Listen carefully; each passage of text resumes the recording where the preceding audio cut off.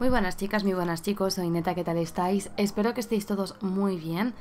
Hoy os voy a comentar una noticia espectacular, y es que una nueva teoría afirma que la Luna se formó tras un impacto que casi pulveriza la Tierra.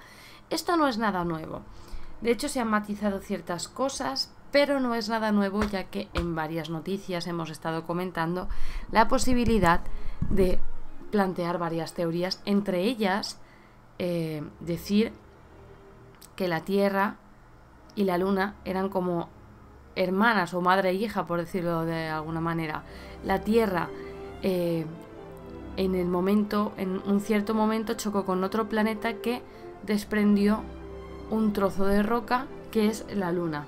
¿Por qué? Bueno, ya sabéis, como os he dicho, hay muchísimas teorías sobre la formación de la Luna pero ninguna está totalmente probada. Y ahora hay un nuevo estudio el cual apoya la hipótesis de que el satélite se formó con manto de la Tierra, que aún estaba en formación cuando ésta impactó con otro planeta de forma tan violenta que casi pulveriza nuestro planeta.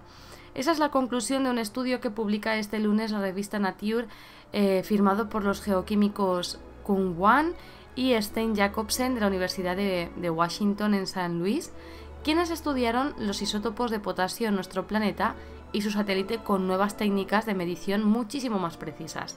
Gracias a sus mediciones, pues se han podido detectar diferencias isotópicas entre, entre, las rocas terrestres y las lunares, lo que proporciona las primeras evidencias que pueden diferenciar entre los dos modelos principales de teorías sobre el origen de la Luna. Porque las más importantes son, hay dos teorías. En uno de esos modelos, un impacto de baja energía dejó a la Tierra en formación y a la Luna rodeadas de una atmósfera de silicatos. Hay otra teoría que defiende que un impacto um, muchísimo más violento vaporizó tanto al impactador, o sea, el objeto contra el que chocó, como a gran parte de la Tierra, formando un enorme disco de superfluidos a partir de los cuales acabaría cristalizando la Luna. A mediados de los años 70, dos grupos de astrofísicos propusieron la teoría de que nuestro satélite se formó de la colisión entre un objeto del tamaño de Marte y una Tierra aún joven, lo que explicaría observaciones como el gran tamaño de la Luna en relación con nuestro planeta y los tipos de rotación de ambos cuerpos. Pero a comienzos de este siglo, un equipo de científicos analizó la, composición de isótopos de una serie de elementos sacados de rocas lunares y terrestres, usando muestras aportadas por las misiones Apolo en los años 70, para poder concluir que eran casi iguales.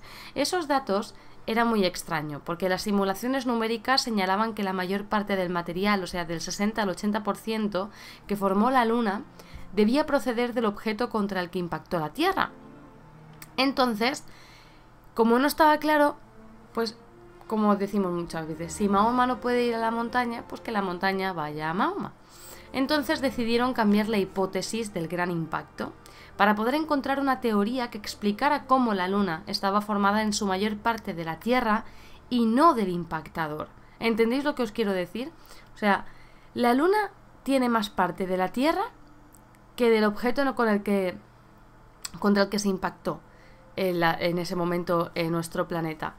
Entonces, mm, como no cuadraban ciertas teorías, pues decidieron cambiarlas. O sea, vamos a cambiar el, el, el pilar, vamos a cambiar lo que lo más importante, a ver si así conseguimos entender un poco lo que ocurre. Por tanto, hubo un modelo propuesto en el año 2015 que el nuevo estudio viene a apoyar en el cual considera que el choque fue extremadamente violento, tan violento que el impactador y el manto de la Tierra se vaporizaron y se mezclaron formando una nube que se expandió hasta llenar un espacio 500 veces mayor que la actual Tierra. Cuando esta atmósfera eh, se fue enfriando, la Luna se condensó a partir de ella. La mezcla total de esa atmósfera explica la idéntica composición de isótopos de la Tierra y de la Luna. En su estudio, Wong y Jacobsen examinaron siete muestras de rocas logradas en diferentes misiones lunares y compararon sus ratios de isótopos de potasio con ocho rocas diferentes. La verdad es que esta teoría puede dar un, un cambio muy importante a la manera de ver el origen de la Luna que tantas veces hemos hablado y que hemos dicho muchísimas veces que en, el, en, la, Tierra, lo que viene siendo la Tierra, la, Tierra y la Luna son como, son como madre e hija. Eh, por tanto, tantas veces que hemos dicho, ay, es que esto es una locura. No, no creo. Esto lo veo bastante lógico y lo veo espectacular, de verdad que sí. Así que nada chicos, espero que os haya interesado esta noticia. Un besito a todos y nos vemos en otro vídeo más de este canal. Hasta la próxima. Chao.